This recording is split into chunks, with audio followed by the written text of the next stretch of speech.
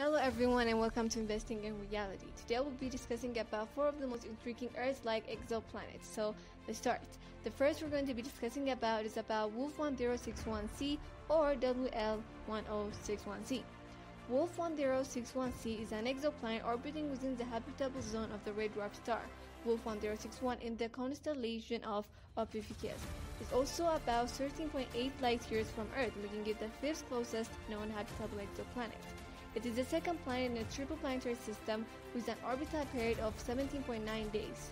Wolf 1061c is classified as a super Earth exoplanet as its radius is over 1.5 with a mass about 4.3 times that of Earth.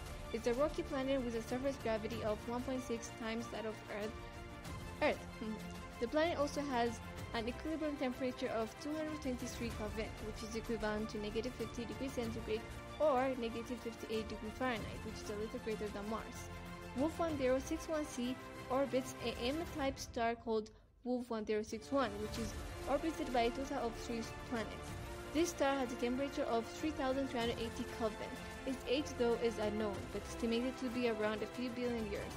When thinking about viewing Wolf 1061c from Earth, is too dim to be seen, as it is far away